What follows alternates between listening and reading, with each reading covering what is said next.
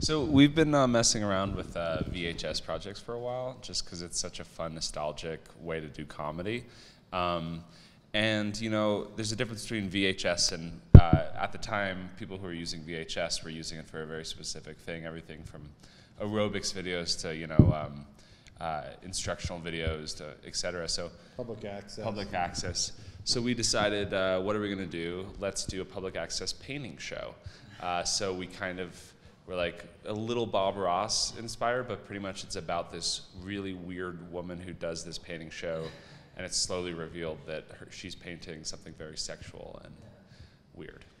So And Kerri Kenney is the is the Joan. yes, from Re- Reno 911 and the state, and she's wonderful. Yeah. I saw them when they were shooting it, and um, I pretty much uh, I'm a kind of a I believe that you should leave filmmakers alone. So uh, I let him do his thing, and he edits it together, and then I get to share in the glory. The glory.